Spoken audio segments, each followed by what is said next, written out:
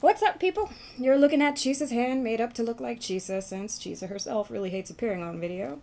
She's very camera shy, actually. She doesn't even really like appearing on stage anymore, which she used to do all the time when she was young and not so cripplingly analytical, but she's gotten diffident in her old age, so. It's one of the reasons she chose to concentrate on writing, to tell you the truth. She thought she would be safer behind words, nose glued to her laptop screen, but the universe has a wicked sense of humor, and now she's going to be pushing herself outside of her comfort zone week after week in front of hundreds of mostly strangers. Uh, she's actually a little nervous about performing with the Neos. She's already had some anxiety dreams about shows going horribly awry, and I don't mean of the uh, and suddenly I was naked variety. Hell, that's standard neo fare right there. I mean, like, I have no idea what I'm supposed to be doing, but I'm on stage anyway. And this girl, LaDonna, who was the most popular girl in my class in the sixth grade, just appears and starts heckling me. Ew, you are so whack.